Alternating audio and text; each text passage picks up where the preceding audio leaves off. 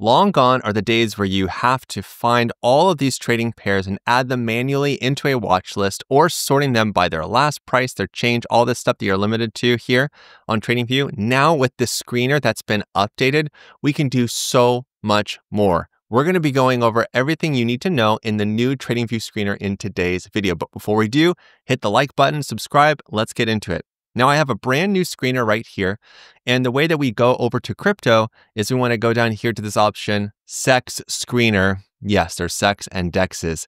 CEXs are centralized exchanges. DEXs are decentralized exchanges. So we can actually screen for decentralized coins, or rather, yeah, price action based off of whatever these metrics are. But we're going to stick here to the CEX screener. Now, we want to focus first on a specific exchange. I really like trading with Bybit right now. So I'm going to click Bybit, and now we can go into some really cool stuff. For one, we can choose our symbol type. We were not able to do this just six months ago, which is awesome. So now I can actually switch between the spot market, which reduces our total symbol market uh, count or symbol, yeah, our symbol count down for like 1,200 to 653. So we already chop off 600 trading pairs we don't need to see. And it gets better. We can actually sort by our quote currency. Our quote currency and our base currency are terms that most of you are not probably familiar with because most of you are just used to trading on USD markets from the stock market.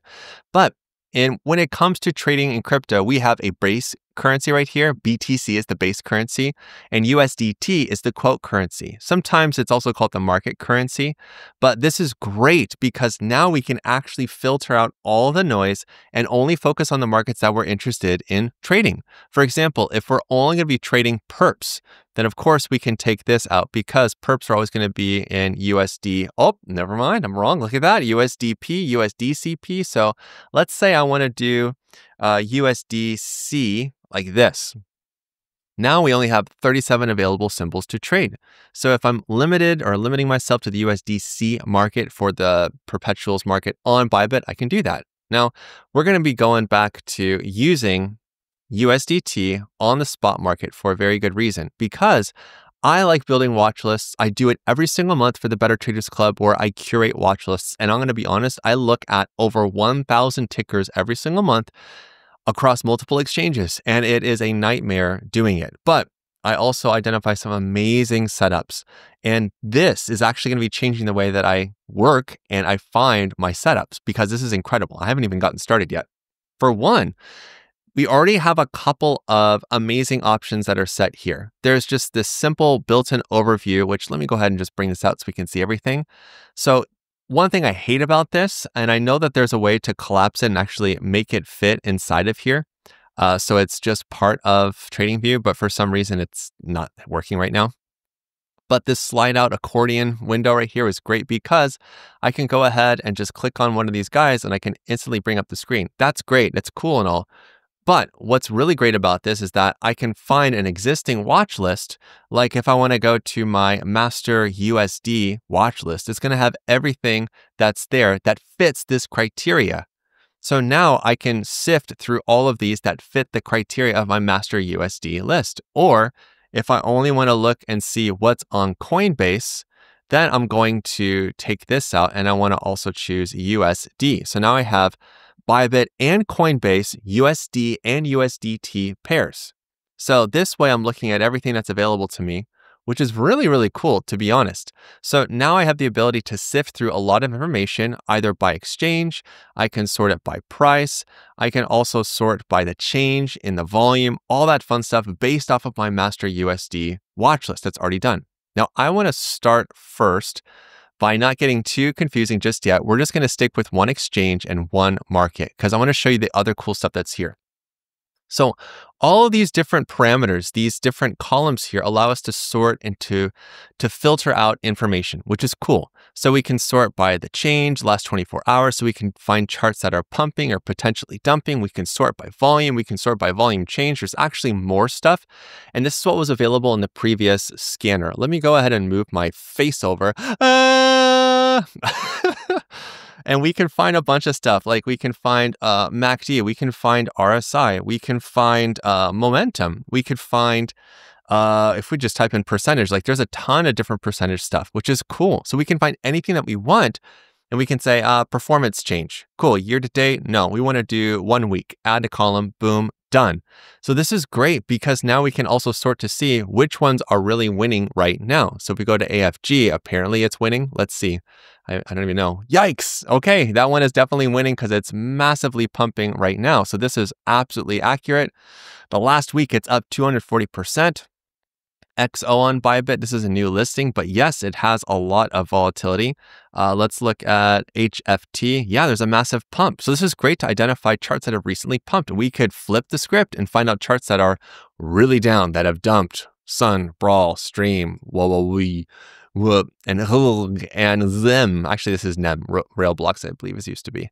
So this is really cool that we can be able to do this, but it gets better. So let's go back to the overview because I want to show you something up here. We have even more drop downs that are available to us. When I click on change, we already have some default settings. So like I want to find out charts that are 30% and above in their change. These are charts that have had a huge change over the last 24 hours. Most likely going to be pumps, but not always pumps. Sometimes they're dumps. But CBK has pumped, SCA has pumped, H has pumped. Wait a second. CBK this is one that was on my watch list. I'm not kidding. I'm fairly certain this was. Let me just double check. Watch list. Yep, is on the July watch list that I literally just shared on Monday. And it just pumped. Good for them. Holy crap. I didn't even know that. That's hilarious. But anyway, this is why this is so cool because now I can use my watch list and I can also use all of these settings, which is really cool. But notice up here, it's showing me everything that's greater than 30%. Well, guess what? I can go into the manual setup and I can get more nitpicky with this. I can say, and this is where things get great. Yes, above is good, but I actually want to find out what charts are doing well that are from 10% up to 30% in their change.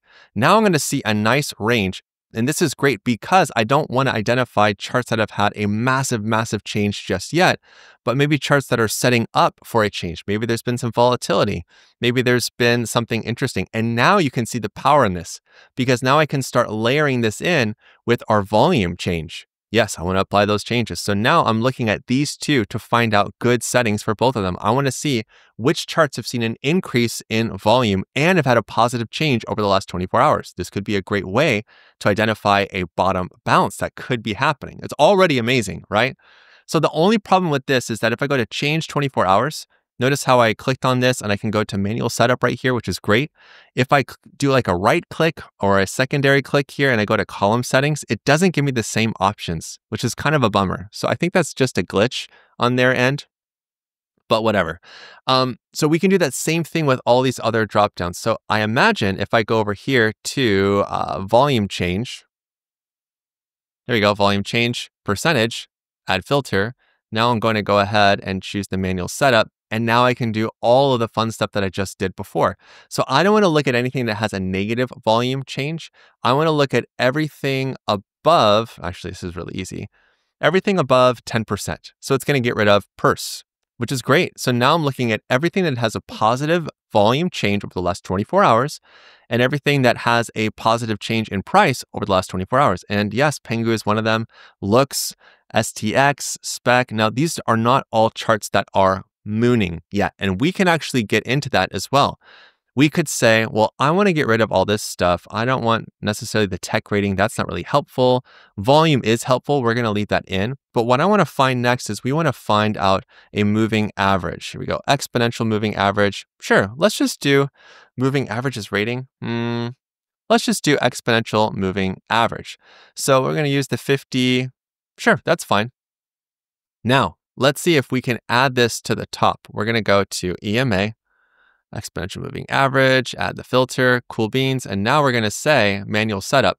Now we want to make sure that it's above or equal a specific value, but we could also say that it's above the price.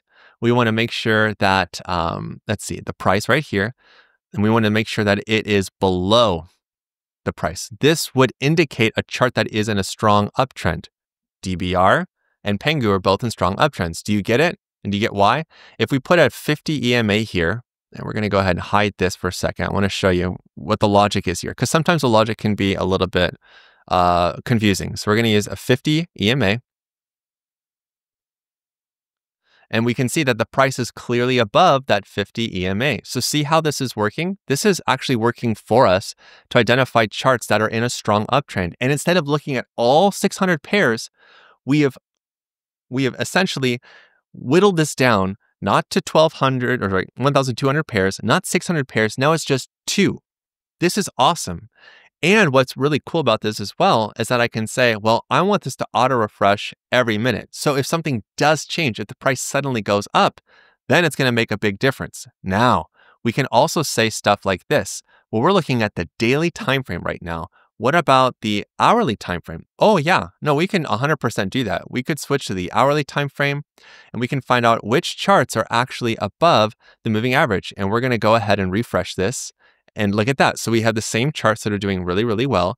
Both Pengu and DBR are both above their 50 period moving averages on the hourly time frame. So it all checks out. Now, you can imagine how dizzying this can be. So I want to give you some good advice on what things to look out for when you're doing this. Now, for one, I have a custom set that's right here. I've already made a lot of changes. The first thing I'm going to do is I'm going to save this screen. Now, of course, I can let this continue to update. There is no, unfortunately, there is no way for this to alert me when there's a new pair added, but it is helpful at least to filter out all of the noise. But let's say that I like these two. I want these to be on my watch list. These are ones I'm going to be trading a lot today. I'm going to go ahead and click and then shift click to select both of these. And I'm going to add both of these to a new watch list that is for my intraday scalping, scalping watch list that I'm making here. So now I'm going to go over here to intraday scalping. Boom, there we go. So now I have access to both of these charts that's meeting my conditions of the EMA. And then if you have the paid version of TradingView, which you have to pay a little bit more for, but you can actually create an alert on this, which is pretty amazing. I'm going to show you up here. You can create an alert based off of a watch list. Now, this is where you have to pay a little bit more. It's a little bit frustrating, um, but you can. So, based off of different conditions, like the TBO, which I have access to. So, when the TBO prints a close short, then I want to know when that happens once per bar. Same as chart one hour. Awesome. So, anytime a close short fires on one of these guys, I'm going to know right away. And better yet, I could set up a webhook notification to tell Altrady for these two specific trades or these two sorry, these two specific markets to open up a new position because I know these charts are in a strong uptrend. Do you kind of get the power here? I know it's really dizzying, but the main thing that I really enjoy about this is the ability now to hyper focus down my watch list so that I'm focusing on the big movers of the day. Now, there's no right or wrong way to use this, but there are just tons of different ideas. And I want you to leave a comment down below letting me know what factors you pay attention to. Are you more of a MACD guy or gal? Do you care more about RSI, CCI? Do you care about exponential moving averages? Do you care more about volume? Or what about all the other technicals? Like there's so many options on here. It's incredible. But honestly, focusing on change over the last 24 hours, focusing on volume, even focusing on a moving average, that's where it's at, in my opinion. But let me know what you think down below. And until the next time, you know what to do. Stay awesome and stay in the green. Peace.